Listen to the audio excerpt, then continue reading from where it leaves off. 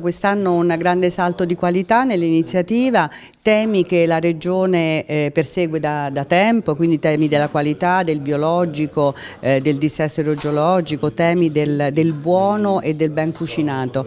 E noi siamo presenti con uno spazio di 70 metri quadri nel quale parleremo e presenteremo due bandi importanti, uno appunto sul dissesto, sulla prevenzione del dissesto idrogeologico e l'altro invece è importantissimo perché riguarda la viabilità secondaria secondaria nell'area del cratere e quindi per intenderci le strade eh, vicinali e interpoderali che spesso sono abbandonate e che non consentono alle aziende di svolgere appieno la loro attività.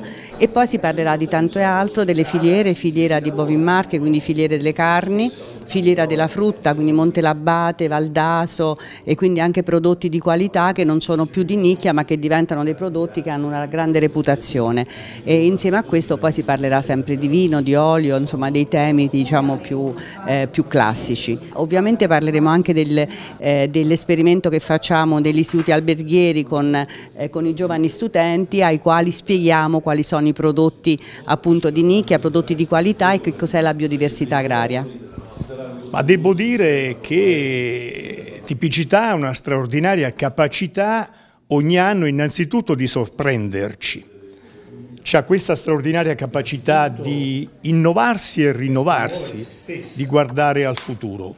Porta sempre questa straordinaria partecipazione di popolo e non solo, ma anche di una partecipazione qualificata.